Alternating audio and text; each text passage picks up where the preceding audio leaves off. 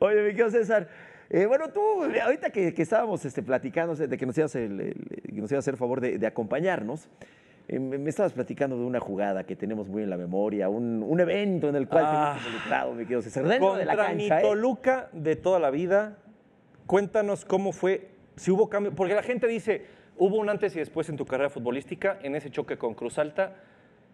Ay, ¿De verdad cambió algo en tu vida futbolísticamente? ¿O qué pasó después de qué, eso? qué golpazo. Pues no, No, es que es un chingadazo. A ver, no, no fue a propósito. pues no sé si haya sido a propósito, pero Te agarra blandito, ¿no? me agarra, a mí me agarra volteando. Volteando, Yo venía sí. viendo el balón y me agarra volteando. O sea, no alcanzo ni a meter la mano. Sí, ¿no? De que haya cambiado, no sé, yo no sentí ni dolor ni nada, o sea, prácticamente a mí me durmió. Yo cuando desperté, pues ya estaba medicado y ni dolor sentí. Despertaste en... En el hospital. En O sea, hospital como No tal. sé ni cuánto tiempo después fue. ¿Cuánto, te acuerdas antes de eso? O sea, ¿te acuerdas hasta dónde? De ahí, por ejemplo, yo esa jugada la, la confundía con una que me habían tirado a línea final y me barro, creo que es la del gol. Me barro, la recupero y tiro el centro. Y, y es el gol. Yo la confundía con esa, que había sido una jugada como de cambio de juego, pero ya viendo la repetición me la tira Lugo. Entonces yo de reojo lo veo que viene. Entonces dije, pues sí le gano en la recepción y hacia enfrente. Pero pues en el choque, de ahí no me acuerdo. Y yo me acuerdo hasta que la ambulancia se va echando en reversa ya para el hospital y ya prácticamente el doctor me dice, no, tranquilo, ya empatamos, ya están en tiempos extra, ya iban para los penales. Los penales los vi en el, en el hospital. Entonces, ¿Sí los alcanzaste a ver en el hospital? Sí, en el hospital ya después de la revisión y todo. Te querías dormir otra vez, ¿no? No, pues yo dije, no, pues es un sueño, voy a dejarme, duermo otra vez. pues. Sí, sí. A ver, tráiganme a Cruz Alta otra vez. Entonces, no, no, o sea, en ese momento, negros. Sí, ahí- Nada, o sea, de repente corte a ambulancia. Sí, o sea, ahí eso sí es real. O sea, yo iba acostado en la ambulancia y despierto y como en los sueños, ¿no? Que tú estás y te quedas en la mejor parte.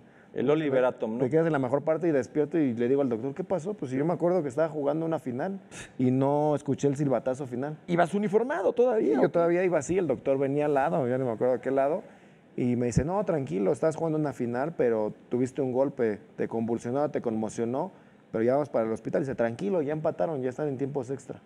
Ahí, hasta ahí. La parte más fuerte del golpe, ¿en dónde fue? O sea, este, el impacto, digamos, eh, fue en la Es que sien. me agarra por aquí, a la hora que hace él esto, a- levanta el codo, entonces me agarra aquí, me agarra aquí y ahí es donde, donde pues prácticamente me duerme.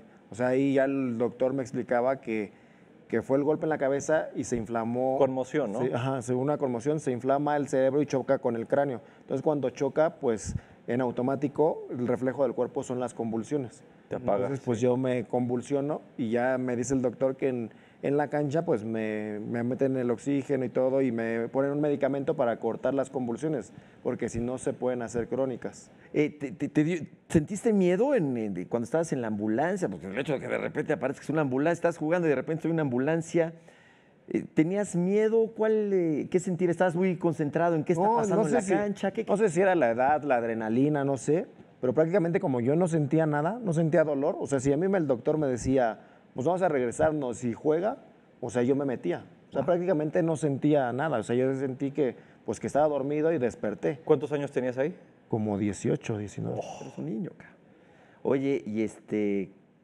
Y luego la, recuperación de. En la recuperación, pues como fue el golpe, pues iba, no sé, una vez a la semana, primera revisión, después luego una cada 15 días, una al mes y así, para checar que no hubiera secuelas, que no hubiera secuelas, me hacían resonancias, radiografías y todo, y pues todo fue bien. Yo estuve un mes fuera, o sea, prácticamente como si nada, el doctor, el doctor que me atiende, el neurólogo, me dice que pues no podía ver tele, no podía estar en el celular, No puedes ver tele. no podía... ¿Eso por qué? ¿Por las, ¿Te puede dar una Porque- por las luces? o No, porque como estás viendo la tele o estás ¿no? leyendo, tu cerebro trabaja más.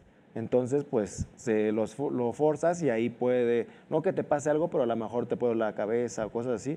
Igual hasta cuando estaba acostado, tenía que sentarme primero y después parar. Me dijo, tienes que llevar como una vida de viejito ahorita. Oh. Si caminas, no caminas tanto, no corres, no saltas, estás sentado, estás acostado. Hasta que ya pasa el mes, ya me, me vuelven a checar, vieron que no hubo ninguna secuela y ya regreso, regreso a entrenar y ya a incorporarme. ¿Te quedaste ciscado? O sea, de que. Con miedo, A ver, claro. un cabezazo, un choque, te quedas ciscado. ¿Te quedaste por ahí un mesecito, dos, que las jugadas divididas le, le sacabas o no te pasó? No, porque yo no recuerdo nada. O sea, no es como que tú dijeras, ay, no, pues me pegué aquí y recuerdo la sensación del dolor. O sea, no, cuando yo despierto, pues no sentía dolor por el el medicamento. El medicamento fue muy fuerte. Yo recuerdo que me despierto y me veo en la ambulancia y un ojo lo traía inflamado.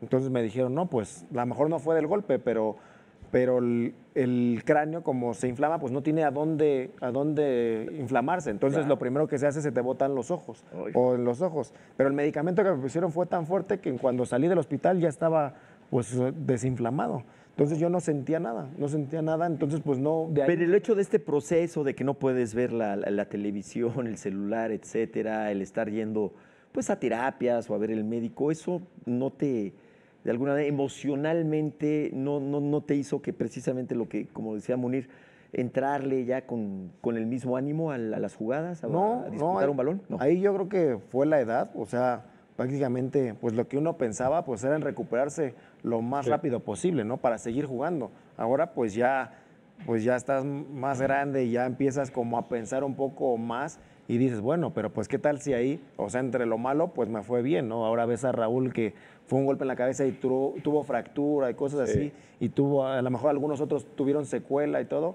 Y yo decía, bueno, pues, pues a mí, a mí esta- en eso pues me fue bien y yo pensaba más en recuperarme lo más pronto posible para seguir jugando, ¿no? Yo nunca pensé que dije, no, pues está en riesgo mi carrera o qué me vaya a pasar, ¿no? O sea, yo me sentía bien. que este, te llamó, te, te habló este, para decirte cómo estás, lo siento, perdón por el... No, No, bueno, en mi ¿Te teléfono. buscó? En mi teléfono no, no tampoco. Ya nos tocó enfrentarnos. ¿Y te dijo no, no ¿Nada? coincidimos, no, de ahí no. Luego ya él jugaba, yo estaba en la banca, o yo jugaba y él estaba en la banca, y ya dentro de la cancha creo que nada más coincidimos uno o dos partidos, nunca- luego, luego, pero. Nunca se acercó. No.